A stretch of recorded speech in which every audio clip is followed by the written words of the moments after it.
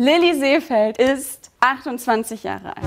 Das kann nicht sein, weil als Iris hier anfing, war sie 18 und Lilly 16. Wo, wo sind zwei Jahre verloren gegangen? Das geht doch gar nicht.